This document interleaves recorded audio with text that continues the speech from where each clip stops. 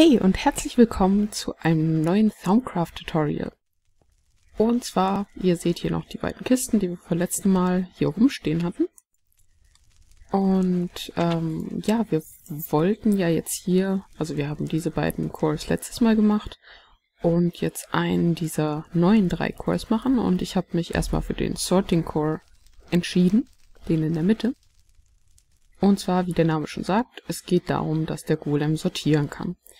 Und das finde ich eigentlich eine ziemlich coole Sache, weil ich es sehr gerne mag, wenn meine Sachen sortiert sind. Wie man hier auch in den meisten meiner Kisten zumindest sehen kann. Ähm, genau. Ja, also wieder einfach nur draufklicken und so. Und Rezept ist ein bisschen aufwendiger als normalerweise. Also einmal Arcane Infusion.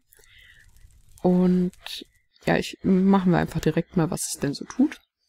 Und zwar ähm, kann es, mit, also kann ein Golem mit einem ähm, Sorting Core ähm, aus dem Home Inventory, also der Chest, auf der am Anfang draufsteht, kann er Dinge rausnehmen und die in andere Chests reintun, aber nur, wenn in dieser anderen Chest schon irgendetwas von diesem, ähm, diesem Item vorhanden ist zeige ich euch dann später, wie das effektiv dann aussieht. Ist ganz praktisch, wenn man zum Beispiel ähm, eine Turtle hat oder so, die einem äh, Sachen abbaut und die dann halt eben wild in ihre Ausgangskiste reinschmeißt und man da einen Golem raus äh, draufstellt, der dann eben ähm, alles, was die Turtle gemeint hat, in weitere Kisten einsortiert.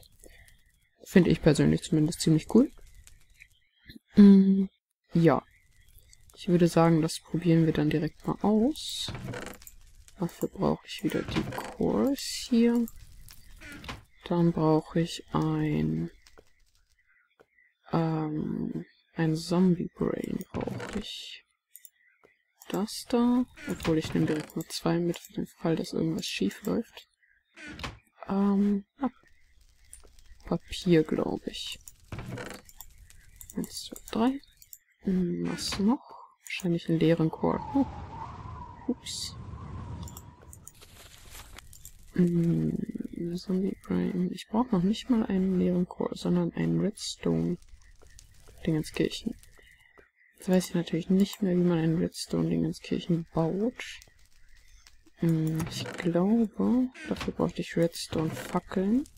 Ähm, eins, zwei, drei. Und dann sowas. Und ich glaube, kein Cobblestone, sondern normalen Stein, falls ich davon noch welchen habe.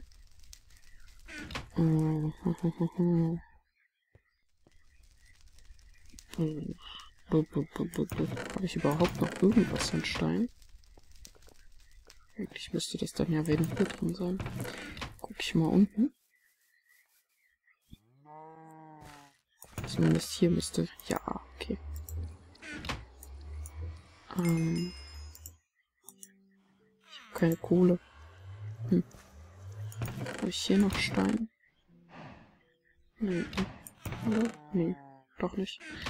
Hm, dann gucken wir mal. Gucken wir mal, ob ich hier irgendwo noch Kohle rumliegen habe, damit ich das Zeug einschmelzen kann. Äh, natürlich habe ich da auch nichts. Aber hier ist ein bisschen was. Dann tue ich mal meinen Sand wieder weg. So. Ähm. Ja, ich glaube, ich brauchte eh nur drei oder so. Mache ich schon mal die Fackeln. Eins, zwei, drei. Eins, zwei, drei. Und dann müsste das eigentlich so aussehen. Und unten dann den Stone hin.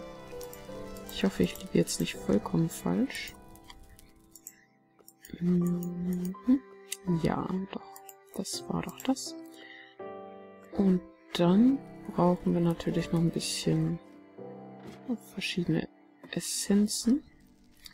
Weiß ich jetzt natürlich auch nicht, ob ich genügend habe. Mhm. Wir brauchen, davon haben wir genug. Dann, was brauchen wir noch? Vakuus, Permutation, Lukum. Lukum haben wir, glaube ich, genug. Nein, haben wir sogar nicht. Und bei Mutation bist du.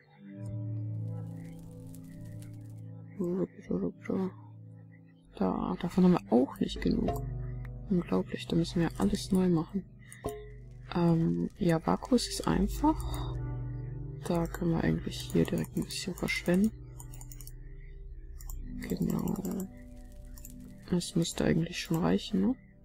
Wie viel haben wir hier? Sechs. Ja, haben wir zwei mehr. Ähm, das müsste dann auf jeden Fall passen. Dafür könnten wir zum Beispiel Barley Seeds benutzen. Aber ich weiß gar nicht, ob ich da noch welche von habe.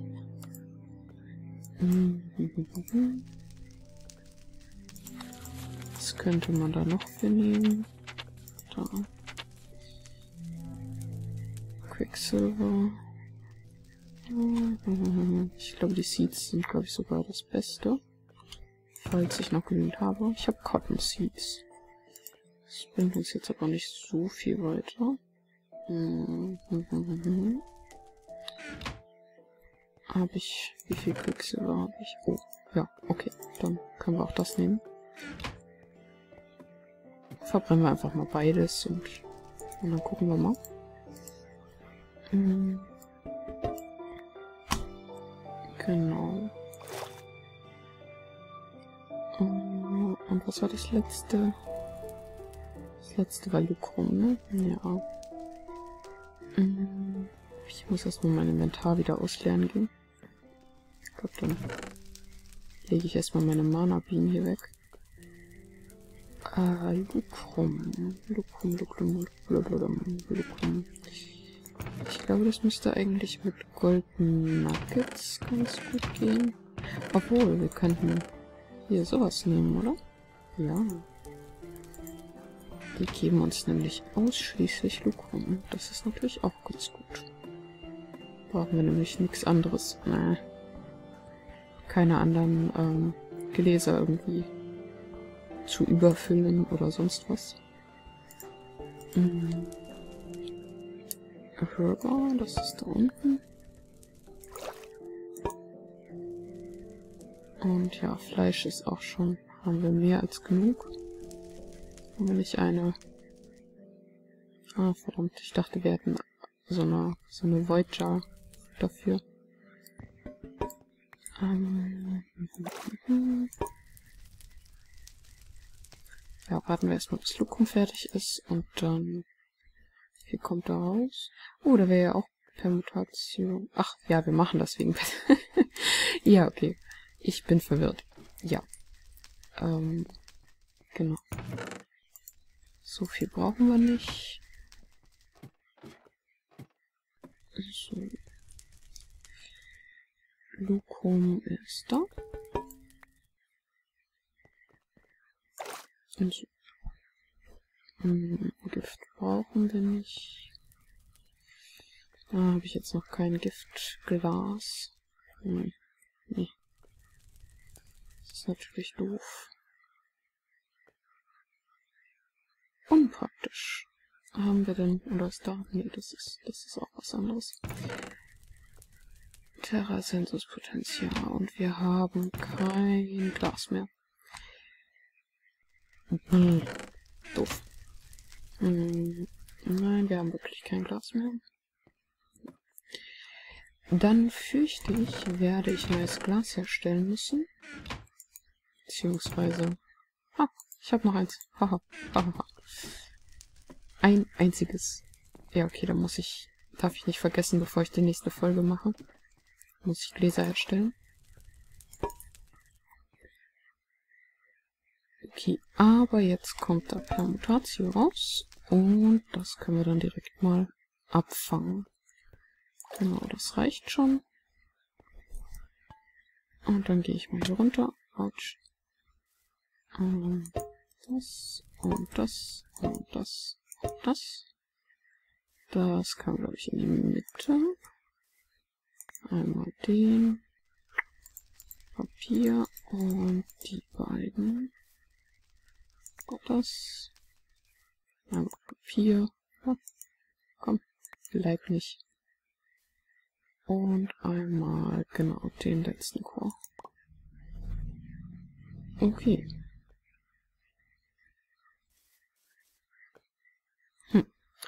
Sieht doch an sich ganz gut aus. Ich gucke noch mal ins Rezept. Ähm, das ist das falsche Rezept da. Ja, ja, ja, ja. Sieht gut aus. Dann ein Zauberstäbchen und Luft anhalten. Oh, ich hoffe, er macht nicht schon wieder irgendwelchen Scheiß. Aber sieht okay aus. Irgendwie kriege ich es gerade da. Ja, ja, ja.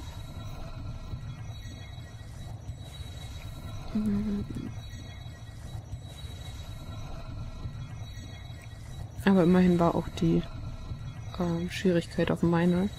Oder die Gefährlichkeit. Von daher sollte man hoffen können, dass da nichts passiert. Und ja, sehr gut. Ich habe immer Panik hierbei. Bei der Infusion. Kann so viel schief gehen. Mm, das ist dann immer sehr, sehr ärgerlich. Okay. Ähm, ja. Ich würde sagen, wie machen wir das denn jetzt? Ähm, was ist hier dann so drin? Da sind sogar noch Sachen drin, da sind keine Sachen drin. Dann stelle ich ihn mal hier drauf und gebe ihm diesen Core. Und genau, gucken wir uns erstmal an, wie der hier aussieht. Ja. Genau. Also, ähm, ja, man kann ihm halt eben keine besonderen Items sagen, weil er halt eben aus den ganzen Inventories, die wir ihm jetzt geben werden, ähm, halt eben einfach nur die Sachen nimmt, die eben in seinem eigenen Inventory, also in seiner Heimat-Chest quasi, auch schon drin sind. Das bedeutet, wenn wir ihm jetzt sagen, also wenn wir, wenn wir jetzt hingehen und wir nehmen hier raus einmal das und einmal das. Ja, und das. Und tun das in diese Chest, dann müsste er rein theoretisch, wenn wir ihm jetzt sagen, wohl nehmen wir auch noch was aus der anderen Chest hier. So, damit man auch sieht, dass er das mit mehreren Chests machen kann. Wenn wir ihm jetzt sagen, nimm das da und nimm das da. Hat er das überhaupt? So, so da und da.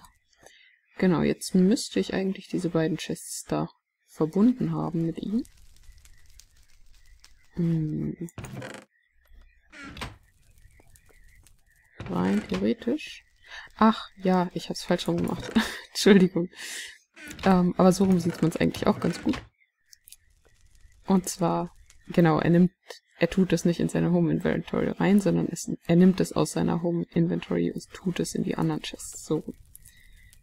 Ähm, genau, das hatte ich gerade verwechselt. Aber ja, er hat jetzt, wie man sieht, hier die Slime Balls wieder zurückgetan in die Chest. So, wenn es mich gerade wundert, warum er die hier nicht dazu tut. Und das da rein. Vielleicht beide Seiten? Ja, okay. Er nimmt das anscheinend wirklich, also die... Er sieht äh, bei einer Doppelchest anscheinend die beiden einzelnen Kisten als extra Kisten an. Dementsprechend die Sachen aus der unteren Hälfte sind dann eben in der einen Kiste und die anderen, die aus der oberen in der anderen. Aber naja, kommt im Endeffekt auf selbe hinaus. Also, unser Golem läuft jetzt durch die Gegend und sortiert die Sachen wieder zurück ein. Genau. Ja, wie gesagt, ähm, ganz praktische Sache, wenn man eben eine Chest zum Beispiel hat, die eben von irgendeinem Buddel-Golem oder was auch immer man gerade hat, irgendeine Maschine, ähm, gefüllt wird, dass dann eben ein kleiner Golem rumgeht und die einzelnen Sachen dann in die entsprechenden Kisten tut, wo sie halt hingehören. Ja, das ist eigentlich so das, was ich euch zeigen wollte. Ähm, ist jetzt nicht mega spektakulär, aber ich finde es eigentlich ziemlich praktisch. Mm, ja, Also, ich würde sagen, in der nächsten Folge machen wir dann ja, eins von den anderen beiden. Entweder Decanting oder Use. Und gucken uns danach an, was da noch als Alchemie-Golem am Ende übrig bleibt oder freigeschaltet wird. Ähm, ja, bis dahin viel Spaß mit den Golems, mit eurem kleinen Sortierer hier. Und wir sehen uns dann nächste Folge wieder. Tschüss!